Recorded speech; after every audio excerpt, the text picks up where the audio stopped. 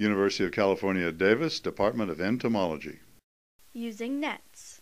An aerial net is used for capture of insects in flight, and a sweep net is used for capture of insects in vegetation. Holding the aerial net like a baseball bat, swing it through the air. Make sure to swing at the insect from behind. Flip the bag over the rim to prevent escape.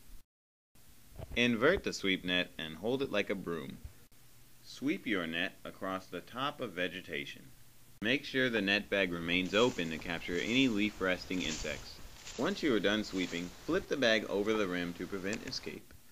Place the tip of the net containing captured insects into the kill jar for about a minute to temporarily immobilize them.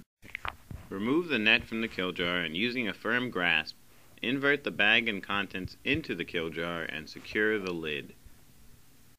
To see what to do with your collected insect, please watch our other videos.